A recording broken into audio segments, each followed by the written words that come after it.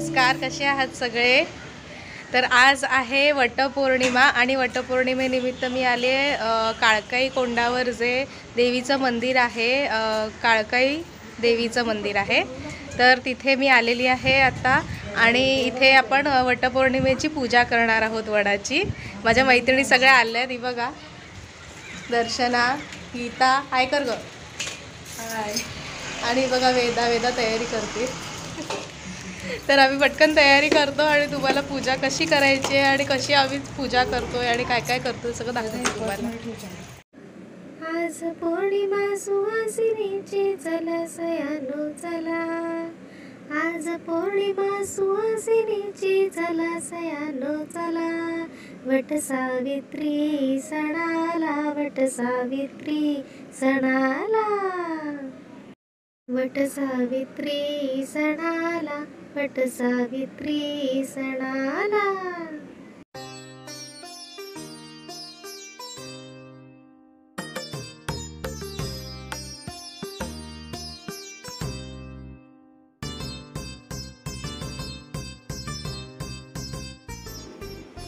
वटसावित्रीची कथा. अशुपती नावाचा राजा होता. लग्नाला अनेक वर्ष झाली पण मूल काही होईना. एकदा त्याच्या राज्यात एक गुरु आले. त्या राजाने त्यांची खूप सेवा केली. त्या गुरुजींनी राजाला विचारले सगळं असूनही तू दुःखी का आहेस? मला मूल नाही म्हणून मी दुःखी आहे. मग गुरूंनी त्यांना ज्येष्ठ अमावस्येचं व्रत करायला सांगितले. राजा राणीने ते व्रत केले व देवी सावित्री त्यांच्यावर प प्रसन्न होऊन त्यांना सुंदर पुत्री होईल असे वचन दिले. राजा राणीला मुलगी झाली जिचे नाव ठेवले सावित्री. सावित्रीचे बालपण छान गेले. ती मोठी झाली व एकदा एका जंगलात गेली. तिच्यासोबत मंत्री व सैनिक होते. त्या जंगलात तिने सत्यवानाला पाहिले. सत्यवान शाल व देशाचा राजपुत्र होता. पण त्याचे राज्य गेले म्हणून त्याच्या आई वडिलांसोबत जंगलात राहत होता. त्या जंगलात तिने सत्यवानाला पाहून त्याला पसंत केले व याच्याशीच लग्न करेल असे ठरवले. राजा अशुपतीला हे सगळे सावित्रीने सांगितले. लग्नापूर्वी नारद मुनींनी राजाला सांगितले की सत्यवानाला आयुष्य कमी आहे पण सावित्री काही ऐकायला तयार नाही. शेवटी सावित्री व सत्यवान यांचा विवाह झाला. सत्यवान व सावित्री जंगलात राहत होते. त्यांचा संसार सुखाचा चालू होता. सावित्रीला नारद मुनींनी सत्यवानाच्या देहांताची तारीख सांगितली होती. अखेर तो दिवस उजाडला. त्या दिवशी सावित्रीने सत्यवानाला जंगलात लाकडं तोडायला जाण्यास नकार दिला.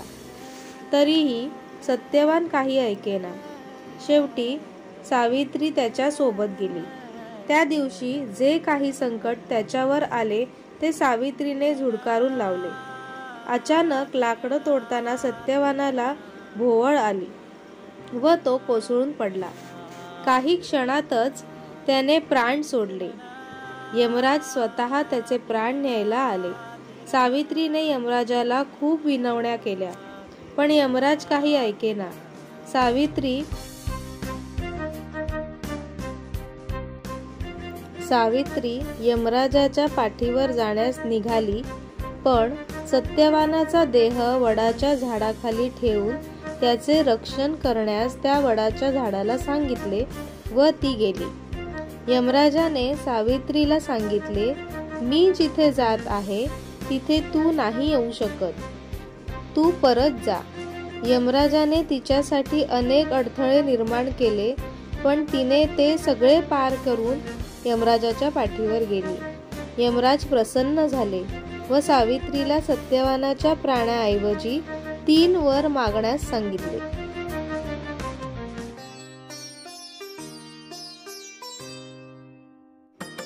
सावित्रीने तिच्या अंध सासऱ्यांची दृष्टी परत मागितली. यमराजाने ती दिली. दुसरा वर म्हणून गेलेले राज्य परत मागितले. तेही यमराजाने परत दिले. तिसरा वर म्हणून सौभाग्यवती हा आशीर्वाद मागितला. तोही यमराजाने दिला.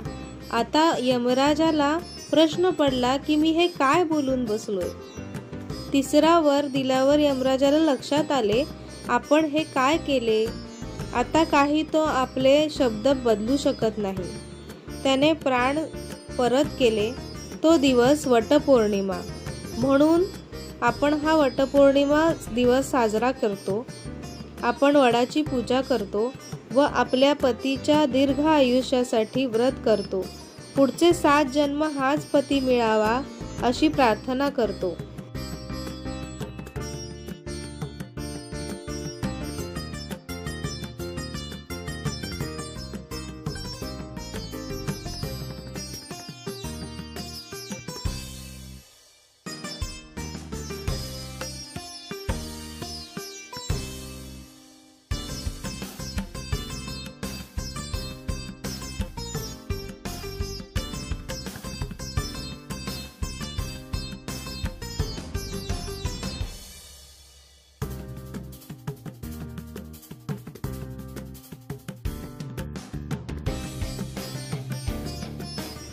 आता थोडं पर्यावरणाविषयी बोलूया.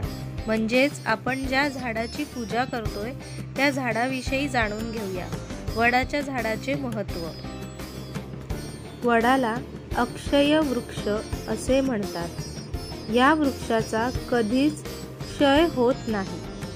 ते सतत वाढतच असते. वडाच्या पारंब्या जमिनीतून पुन्हा पुन्हा उगवतात व वडाच्या झाडाचा विस्तार होतो. त्यामुळे त्याचे आयुष्य उदंड असते.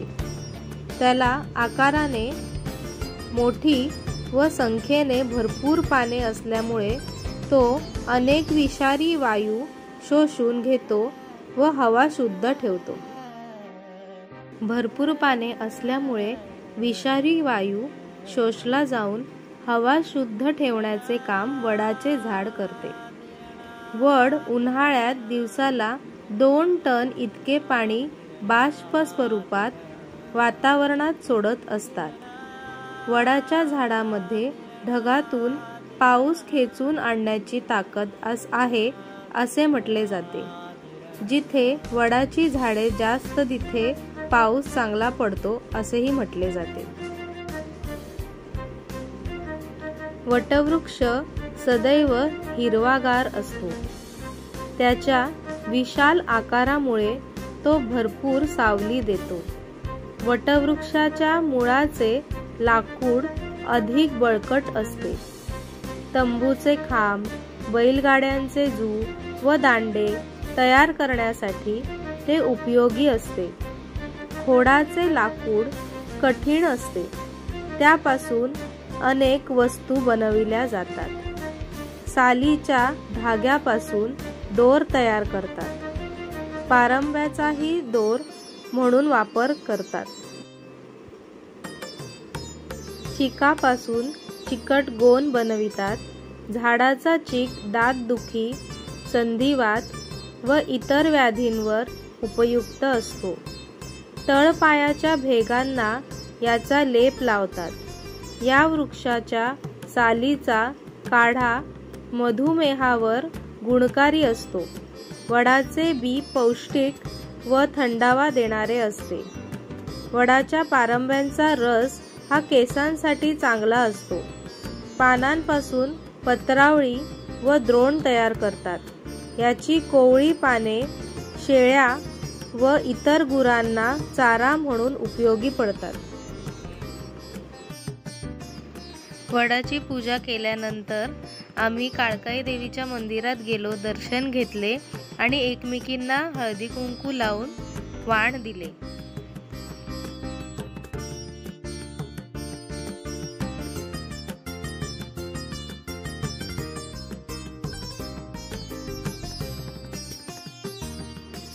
काळकाई कोंडावर काळकाई देवीच्या मंदिरात वटपौर्णिमा साजरे करण्यासाठी म्हणजेच वडाच्या झाडाची पूजा करण्यासाठी अनेक स्त्रिया आल्या होत्या.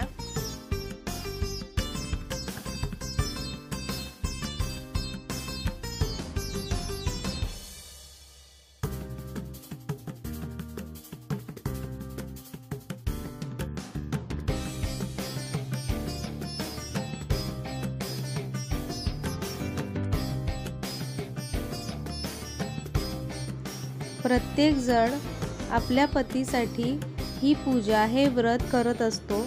त्याचबरोबर आज मी वडाच्या झाडाचे महत्त्वसुद्धा सांगितले आहे.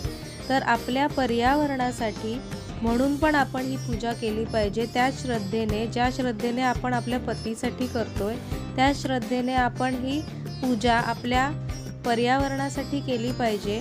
म्हणजेच कुठलीही फांदी न तोडता कुठलेही झाड झाडाचे नुकसान न करता म्हणजे वडाच्या झाडाचे नुकसान न करता आपण ही पूजा केली पाहिजे. जेणेकरून जिथे वडाचं झाड आहे तिथे जाऊन पूजा केली पाहिजे. आपण जर फांदी तोडून आणली तर त्या झाडाला दुखापतच होणार आहे शेवटी.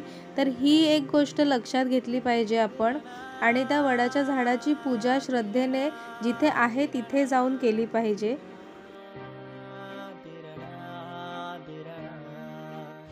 तर अशा प्रकारे आम्ही वटपौर्णिमेची पूजा केली आहे. आणि या पूजेनिमित्त मला तुम्हाला एक संदेश द्यायचा आहे की कुणीही वडाच्या झाडाच्या फांदा तोडू नका आणि जिथे झाड असेल तिथे जाऊन पूजा करा किंवा एखादं झाड लावा तुमच्या इथे घरी आणि किंवा कुंडीत. आता मुंबईतल्या माणसांना तसं शक्य नाही आहे खरं पण कुंडीत लावू शकता तुम्ही. नंतर ते झाड कुठेतरी मोठ्या ठिकाणी म्हणजे जिथे स्पेस असेल तिथे जाऊन मग लावू शकता. तर अशा प्रकारे तुम्ही ते झाड लावा आणि मग त्याची पूजा करा. याचा निमित्त म्हणजे काय आहे? आपण ही पूजा जी करतो वटपौर्णिमेची सावित्रीने सत्यवानाचे प्राण यमाकडून मागून आणले.